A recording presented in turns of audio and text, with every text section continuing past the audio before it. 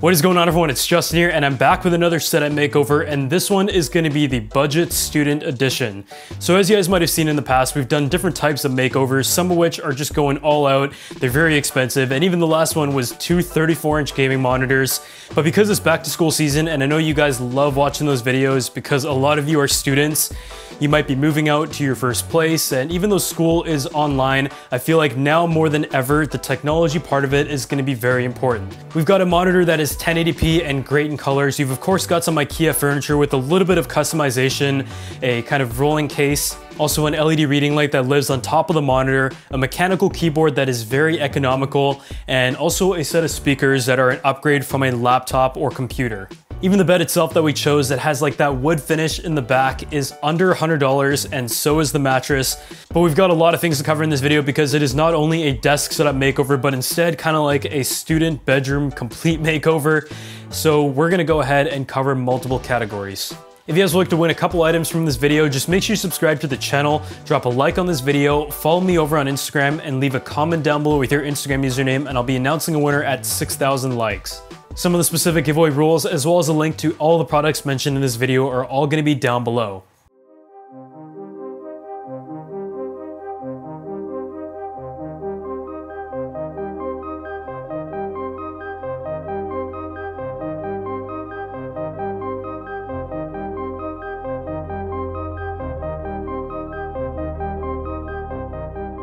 Hi, my name is Dylan. Um, I'm a photographer and computer scientist from Victoria. Uh, I moved into this place about two months ago. My buddy Massimo offered me a place to stay for the summer. All right, this is my desk. I got off of Facebook for free. This nice lady uh, told us if we can take it out of her house and we can have it for free. Yeah, it's a bit crowded. I've got two monitors. I've got my photography gear kind of thrown everywhere.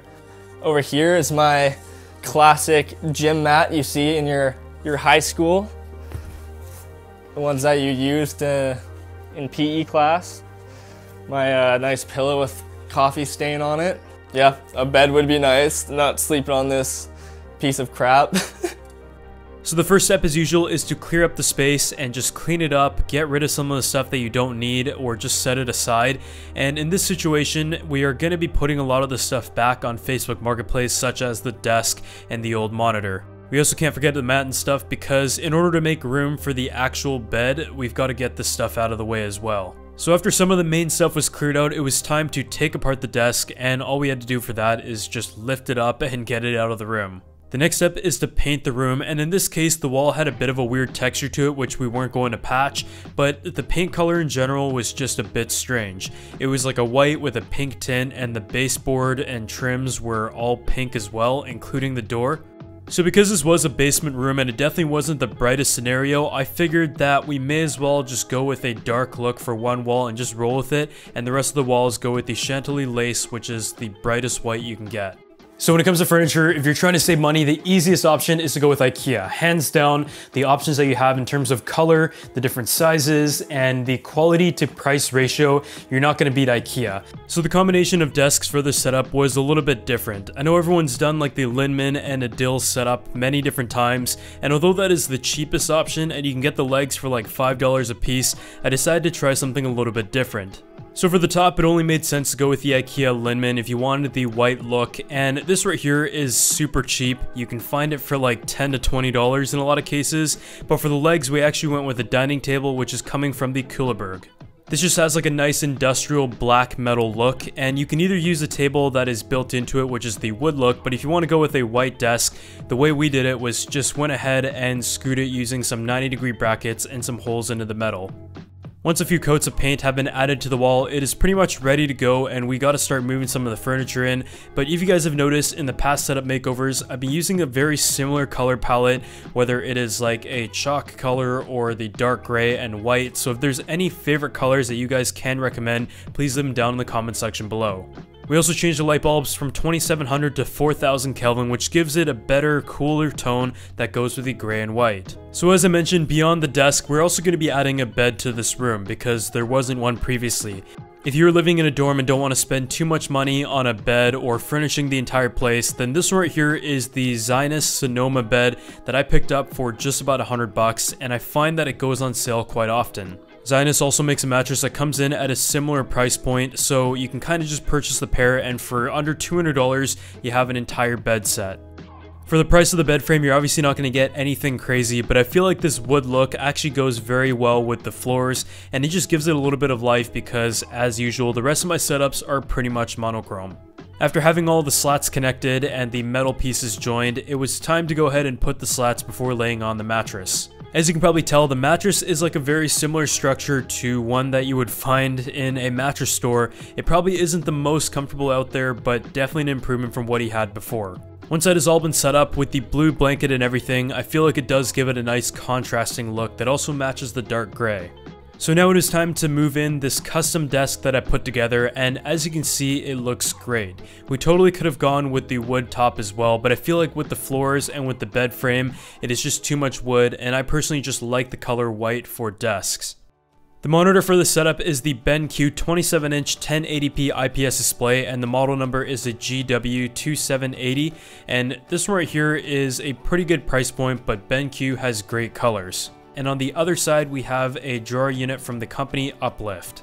It is made out of metal, has three different compartments and a locking drawer and it just looks really nice and almost reminds you of a locker. Dylan didn't really have any storage aside from some cabinets before, and as someone who has like a lot of little accessories or robots that he's building, as well as camera pieces everywhere around the room, then I feel like this drawer unit right here is a great solution to solve that problem. The speakers for this setup are ones that are just very economical. You can definitely get something much nicer, but in this case, we just needed an improvement from the computer speakers, and this right here is the Logitech Z130. It is about 5 watts per side, so it's definitely not going to like shake the room or anything, but it's going to be a decent improvement, and Logitech for the price is a company that you just can't go wrong with. The last thing that we also added is a Choetech wireless charger, and although this is not the cheapest one out there, you can definitely find cheaper. This right here is able to hold two devices, so if you have like a set of AirPods or something, then you can charge it on one side.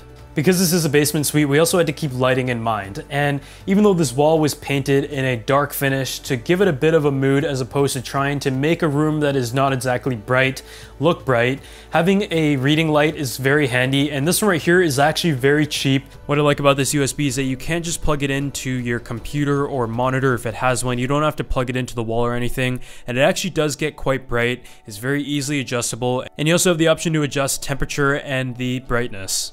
As you guys can probably see, I've been adding some more decor and books lately, so we put a stack and also added a candle that I picked up from Bed Bath & Beyond. Because the setup looks so bland, I also decided to add a gold alarm clock. So before we move on to the next product, I want to give a huge thanks to the sponsor of this video, Private Internet Access. They are a VPN, and by using the secure VPN tunnel, all of your IP addresses are hidden and your data is protected. It is available on all platforms including Windows, macOS, Android, and iOS as well as many others, and there's also a strict no-log policy in place. Some of the examples of use include unblocking content from streaming services such as Netflix, Amazon Prime, Hulu, and many more, concealing digital footprint from hiding IP address, and in general just for geo-restricted content, say you're going to another country for school or something, or in a year like last year where I was traveling a lot, then a VPN can really come in handy. If you guys want to check them out for yourself, I'm going to drop a link down below. And with the two year offer, you have three months free and the price comes down to just $2.59 a month. For this BenQ monitor, I would say the best price to size ratio is going to be the 24 inch model. You're going to get the best bang for buck for that size. It is an IPS panel and has 170 degrees of viewing angle and as you can see just from filming here, it is able to retain its color quite nicely at different angles. I also love that despite its price, it is still quite stylish with a slim base and the bezels are really small. Obviously for the price it's not like a reference monitor or anything, but I would say the screen quality is great, the contrast is there, and if you're just looking for a good display that you can even color edit on, then this is a good option to go with for the price. Most of the time it is really hard to find a keyboard combo that has both mechanical features and even RGB at a good price point, but in this case we found one from a company called Havit that comes in at a price of just about $40. I feel like this one suits the setup quite nicely, and I was definitely skeptical because of the features it was promising for its price, but I can tell you it gets the job done.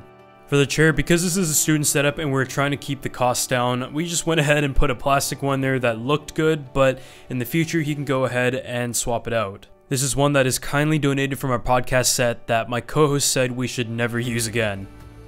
So as you guys can probably see, even though we kept things very simple because for students it is just down to the essentials, it looks great and it has both the mix of contrast and personality to it here and there.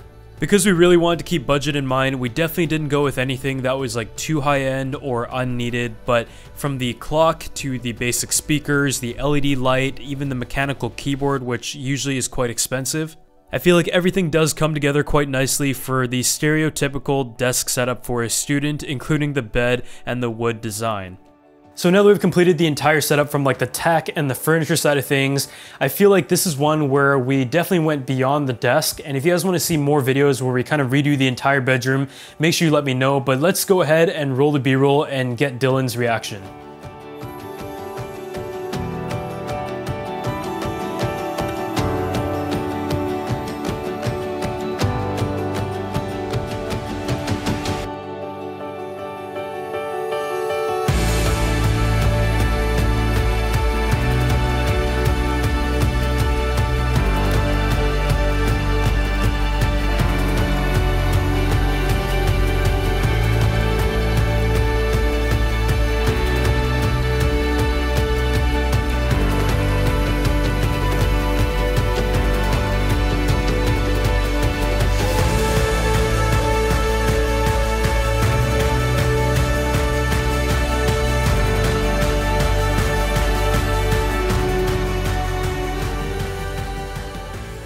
Enjoy the, the new bed setup. It's definitely helped me with my sleeping habits as when I was on the floor. I definitely wasn't getting the same amount of sleep as I am now.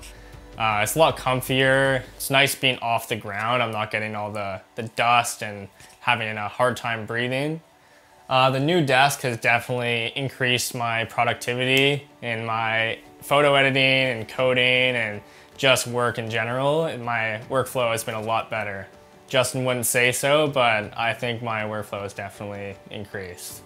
Sure, yeah, the contrast in the, the paint has definitely helped with uh, color correction in my photos, and the light bar definitely helps for readjusting my eyes to the light around here. The keyboard just feels really nice and just has a general good look and feel to it, so it's very easy to get a lot of work done with it. So there you have it, Dylan has a new desk setup that is a huge improvement from what he had before, both in terms of color and functionality, and also most importantly, he also has a bed to sleep on instead of using the floor. I feel like the room that we were working with is like the average size of a student dorm room. It definitely isn't the biggest, but with a twin size bed on the side, you still have plenty of room for a nice desk setup. And I feel like for any student, you're either out and about uh, on a regular year on the campus, or you're at home working at your desk, whether it's gaming or homework. Of course, we couldn't forget about the cameras, so after that entire wall was painted, we just kind of cleaned it up a little bit, put some of the small accessories in the drawer, and kind of used the wall as an area to display and enjoy that. A lot of times removing clutter is a good thing, but with the sill that is at the window and with plenty of space to kind of span across the room, it only made sense to do it this way. But otherwise, thank you guys so much for watching this video, and if you enjoyed it, make sure you drop a like. I definitely plan to bring this setup makeover series into the living room, and I've got a pretty crazy one coming up very soon, so stay tuned for that. And as always, all the links to the products are going to be down below, and I'll see you all in the next video. So huge thanks once again to Private Internet Access, a leading VPN provider for sponsoring this video, and if you guys are a student and are heading abroad, then this is definitely a service that can make a lot of sense.